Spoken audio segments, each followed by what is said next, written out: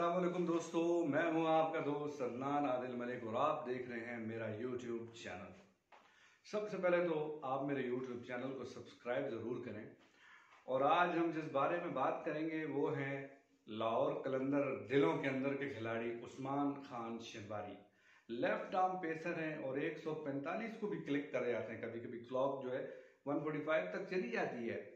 اور بھائی صاحب، ایک ٹھیڑے بالر ہیں گٹ کے آئی ایم سوری ٹو سے لیکن جس طرح کی انہوں نے پرفارمنس دی ہے it is very unfortunate for Lahore Qalandars بہت ہی عمدہ میچ کھیل رہے تھے محمد حفیظ کو دیکھیں کبھی چلا نہیں لیکن آج چلا تو کمال کا چلا اور خوب اس نے دھنائی کی سات چھکے سات چوکے اٹھانوے رنز کی شاندار اننگز کھیلی اور اس وقت ایسا لگ رہا تھا کہ لاہور کلندر کے ہاتھ میں میچ اور وہ میچ آسانی سے جیت جائیں گے اور جب باری آئی اسلام آباد یونائٹڈ کی، تو اسلام آباد یونائٹڈ پہلے شروع میں کچھ اچھا نہ کھیل سکا اور اس کی جلدی وکٹیں گر گئی۔ لیکن اس کے بعد ان کے کپتان شاداب خان، جو کہ ابھی تک کچھ اچھی پرفارمنس نہ دے پائے تھے، اچانک انہوں نے ایک کیامیو اننگز کھیلی اور پچاس رن جوڑ دیے اپنی ٹیم کے لیے۔ تیز پچاس رن، اس میں تین چھکے بھی شامل تھے۔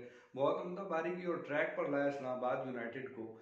پھر اس کے بعد اچھی پارٹنرشپ چلتی ہے اسلام آباد یونائٹڈ ایک دفعہ میچ جیتنے کی پوزیشن میں فل آ گیا اور لگ رہا تھا کہ لاہور کلندر دلوں کے اندر بالکل باہر ہوں گے میچ سے۔ لیکن لیکن لیکن کیا ہوا؟ اس کے بعد Shaheen Shah Afridi left arm fast bowler ہے، بہت ہی بہترین بولر ہے، کمال کی بولنگ کرتے ہیں۔ کیا خوب انہوں نے سپیل کیا، واپس آئے۔ یک کے بعد دیگرے دو کھلاڑی کو پویلین کی راہ دکھائی اور کلندروں کو گیم کے اندر پھر لے آئے۔ گیم کے اندر لائے اور واپس آ گئے کلندر اور اس طرح لگ رہا تھا کہ میچ دوبارہ لاہور کلندر کے ہاتھ میں آ گئے اور آ بھی چکا تھا، لیکن پھر آئے محمد موسا جو کہ ان کے بالر ہیں، تیز بالر ہیں۔ چھوٹا قد ہے ان کا بھی، لیکن سلپری بالنگ کرتے ہیں، بہت پیسی بالر ہیں، شاندار بالنگ کرتے ہیں، لیکن انہوں نے بیٹنگ میں بھی کمال کر دکھایا۔ اور آتے ساتھ ہی شاہین شاہ افریدی کو دو چوکے لگا دی اور اس وقت پھر ایک دفعہ میچ ڈگمگا گیا اور دوبارہ میچ نے پلٹی کھائی اور پھر ایون سٹیون ہو گیا میچ گو کہ اسلام آباد کے پاس وکٹیں کم تھی، لیکن پھر بھی ایون سٹیون بال اور رن و بال ہو گیا تھا تقریباً رنز اور بالز برابر آ گئی تھی۔ تو پھر اس کے بعد چلتا رہا، موسا اچھی بیٹنگ کرتا رہا، اس نے اچھی شاٹس لگائی، لگ نہیں رہا تھا، وہ گیارہویں نمبر کا پلیئر ہے۔ اور آتا ہے پھر آخری اوور جناب، جہاں پہ چھ گیندوں پر نو رن چاہیے ہوتے ہیں اور دسویں اور گیارہویں نمبر کے کھلاڑی دو کھیل رہے ہوتے ہیں۔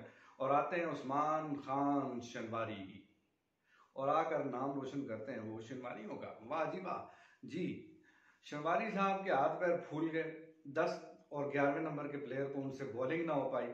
اور بہت ہی گھٹیا انہوں نے ڈسپلے کیا بولنگ کا۔ اس سے پہلے بھی کافی زیادہ لاتیں ان کو پڑ چکی تھی۔ بہت پھینٹا کھایا انہوں نے۔ اور آخری اوور میں ان کو چاہیے تھا، اتنا زیادہ ان کے پاس انٹرنیشنل ایکسپیرینس تھا۔ لیکن اس کے باوجود وہ کچھ نہ کر سکے اور بالکل بے یار و مددگار نظر آئے۔ حالانکہ کلندروں کے حوصلے ان کو بلند کرنے چاہیے تھے، ان کا اچھا خاصا پیس ہے، لیکن دماغ پتہ نہیں کہاں رکھ کے آتے ہیں، اللہ جانتا ہے۔ تو انہوں نے بولنگ کی اور بہت ہی گھٹیا قسم کی بولنگ کی اور چھ گیندوں پہ نو رنز پڑوا دی، ایک وکٹ چاہیے تھی، ایک وکٹ ہی لے لیتا، بھائی یورک مار دے تو چھ کی چھ۔ یورکرز کر کے اس کو میچ کو جتا لے۔ لیکن نہیں، بھائی نے ثابت کیا کہ بھائی بھائی ہے۔ اور بہت ہی گھٹیا بولنگ کر کے اس نے ایسے چھلانگ ماری جیسے کھوتا دریا میں گرتا ہے۔